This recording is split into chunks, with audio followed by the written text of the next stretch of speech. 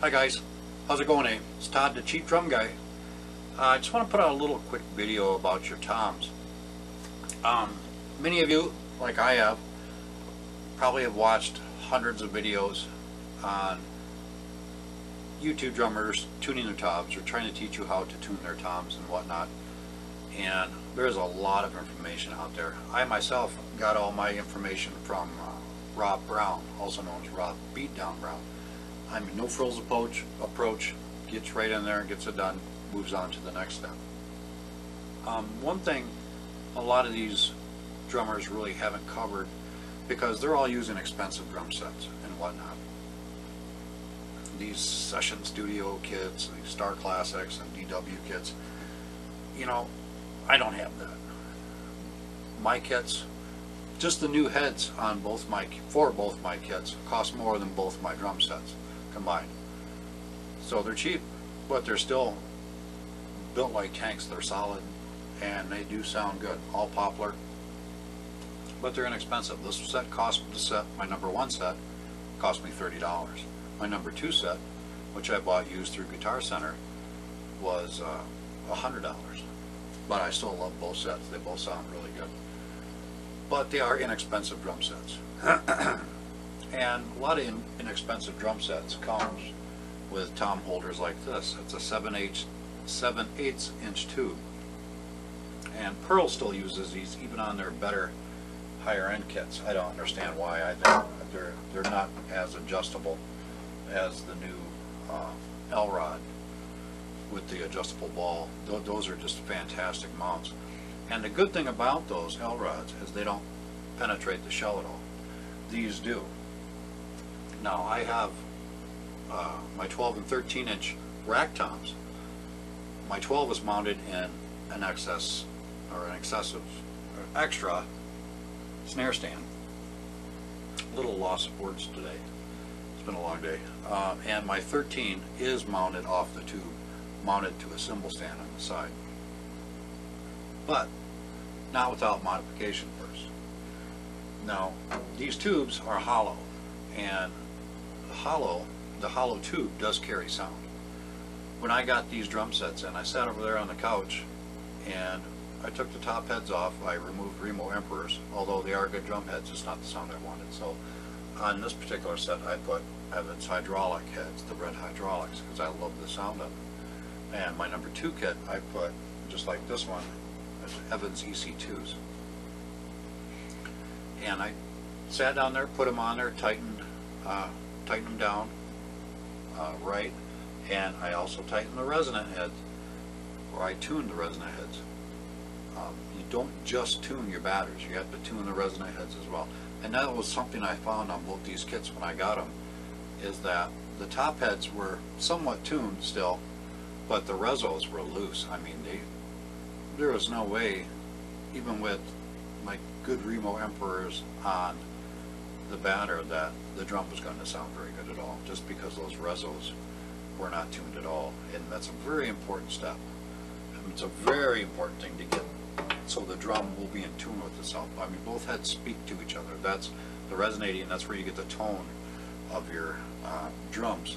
So don't be afraid to pick up a drum key and use it. I've got about a dozen of them around here, and it's still not enough because I'm constantly tinkering with the drums. But anyways, getting back to the tom arm. These are hollow, and like this one, before I put it on, I did a little modification to it. Now, everybody has seen these swim noodles. I mean, my grandkids, I probably got a hundred of them in the garage. If you need some, hit me up. I live in the Great Lakes State. Of course, I've got swim noodles around. And they're foam, easy to cut, and they also serve another purpose. What I did on this one is I cut up a piece of swim noodle and I stuffed it in the, in the tubes like these.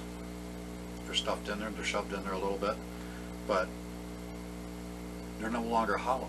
They no longer carry sound that way. And that's important. Because as soon as you as soon as you tune your drum and you put it on the mount, or if, if you do it that way, um, you're going to notice a big change. The sound's going to be different. It's not going to sound the same. And because you're getting sympathetic resonating from your rack tom to your bass drum, or your bass drum to your rack tom. And this, it's, it's gonna change the sound of it. So by filling ends with pieces of foam like you did, it's going to alleviate most of that. Now, another important thing is, there's a lot of extra tube there. When you mount these on your drum set, like on your bass drum, they go into these rather large holes.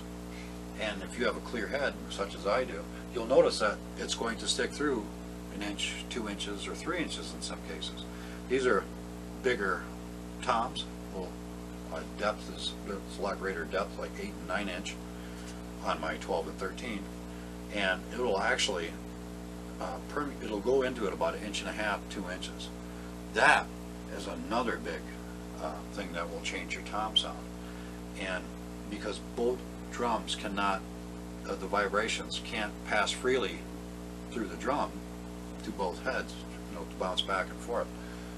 And with that tube sticking through, it interferes with that. So it's going to change the noise, uh, change the sound also.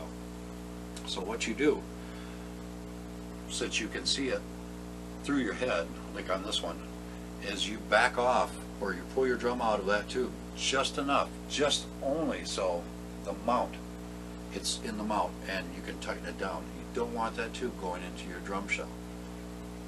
It will seriously affect your sound. And with mine, well, I, I use the snare stand on this one and I do use it on this one, but it's only, I think this one is only coming through about a quarter inch. And I do have to back it off a little bit more. But there's a lot of excess of tube there, and I will, in the future, cut some of it off. Especially when you mount it on the bass drum. If I look into the batter head, which is clear thankfully, I can see mine were dropping at an excess amount of tube of about three inches. And so what you can do is take off, uh, take off your batter head and take a Sharpie and mark on there where the excessive amount of tubing is. And then pull it out, take it in your garage, use a hacksaw or a pipe cutter like I have, and cut off that excessive bit of tube. But don't throw that away, because down the road, you're gonna find a use for that. As I'm finding out with everything, with my drums, as I modify everything, there's always a use for something else. There's, whatever, whatever you remove or cut off or, yeah, you'd be surprised, there's so many things. David uh, Rauf, uh, you might know him by his YouTube videos, R. David R. I mean, he's the hack, the DIY guy, the quick fixes. The guy's a bloody genius. And you ought to pay more attention to him, and listen to him. And if not just for the, the humoristic approach he has on a lot of things too. But he says, don't throw any, anything. And time and time again, when he's been doing a project, he's pulled open his drawers and found pieces he's cut off of something and reused them for something. And drum stuff can be quite expensive. Mean, as you all know. I mean, I found although my drums are cheap, hardware, cymbals, heads, sticks, it all adds up. And I, I am retired military, but I do also have a full-time job and I have a wife. So if you got one of those things, they get expensive too, but they also nitpick and count pennies as you're trying to work on your kit. But anything you can do to save a buck, uh, you're better off. Don't get rid of your drums because you think they sound crap. Like I said, get out your drum key. Work on your resonant head. Now, generally, like with my toms, I like the fat sound.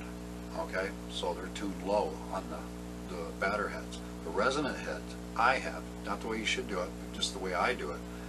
Mine is a little a little pitch higher on the bottom. Some people, I mean, some drums are, are different. I mean, sometimes you got to play with them. I have two 16-inch rack toms, one for this kit, one for my other kit. That the tuning was kind of backwards on, just to get the sound I wanted, which was odd. The floor toms are weird. They are a whole different animal. Um, Sweetwater Sound, or Sweetwater, you know, the largest music store in the United States. Fantastic place. I recommend them highly. Their in-house drummer, Nick D'Virgilio, fantastic drummer, fusion drummer, uh, been in a number of bands. but he's being widely known as, as Sweetwater's in-house drummer, and he's done numerous videos. One thing he likes to do with his floor toms is use cotton balls. And it helps, because sometimes a floor tom, no matter the heads, no matter the tuning on it, sometimes it can still just be a little bit of a wild child. This 14, for example, for my other kit, this one has caused me a lot of grief, a lot of pain. However, I absolutely love this drum. But it took a little bit more to tame it. So what I did, since it is a, a floor tom, a much larger drum of course, I took the top head off and I dropped in some cotton balls. With the 14, I started with three, put them back on, tightened the tension rods back up, tuned the drum, and then played it again. It still was causing a little excessive noise. It was affecting the snares, although I do have pure sound equalizers on here, which is supposed to reduce that kind of stuff. But it still affected the snare, gave it a little bit of rattle. So I took, popped the head off again, and I dropped three more in there. Stopped it. Got a lot better, warmer tone out of it. And I figured, well, the 14 was the wild card out of the bunch, so my 16 should be fine. Well, it shouldn't take as much. I was wrong. Um, I did the same thing, though, just because, again, it was giving a little excess of noise. So I popped the head off, and I started off with five in this one and the other one. And right then and there, I think I hit the sweet spot. With both drums, I had to tinker with the resonant head. Uh, Fat sound, low tuning on the head, on this one with the, with the hydraulics, and just a little bit, a tone, or a tone above on the resonant head tame it, to give it a good sound. And with the cotton balls in there, it was perfect. On my other tom, floor tom, it was, it was kind of a different thing. I had to do a lot more tuning. I know it's the same drum manufacturer. Uh, the heads are a little different, but I didn't think it would be that much of a hassle to trying to get that one tuned. But it was a little bit of a work. And it's not so much the top head. Both top heads were tuned low. It was the resonant head. Um, the other one's a lot tighter than this one to be able to achieve the sound that I wanted. Again, I don't have electronic filtering like all the other guys. I have mechanical filtering because I have to tune it to my ear, not to the computer. Well, I, the computer doesn't tune it for me. I tune it to my own ear. So, those of you who are down in your basement, because that's where the wife or the girlfriend keeps you, because she doesn't want to hear all the noise, that's what you gotta do. And sometimes also, also, if all else fails, if you have a little bit excess, your Moongel.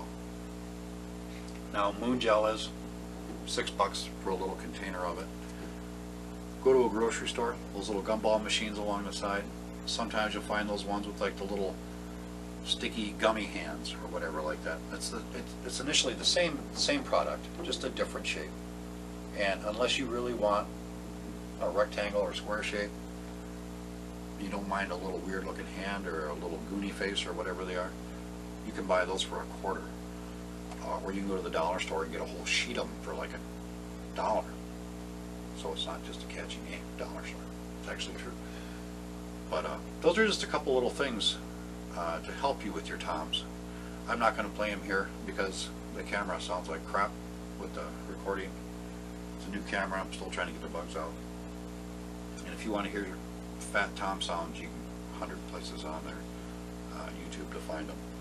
But uh, cotton balls, foam in your tom arms, and make sure your tom arms aren't going into your shells.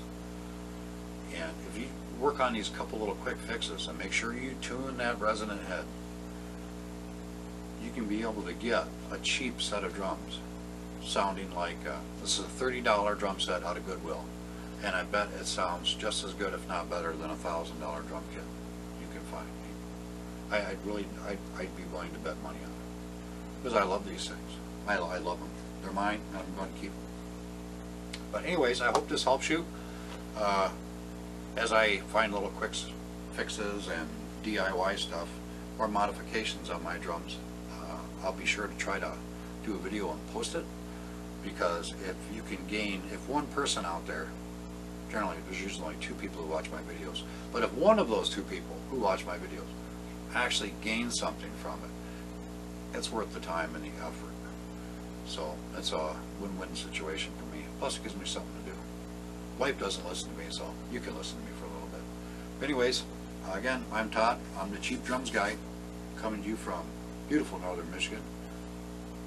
Have a good day, eh? See ya.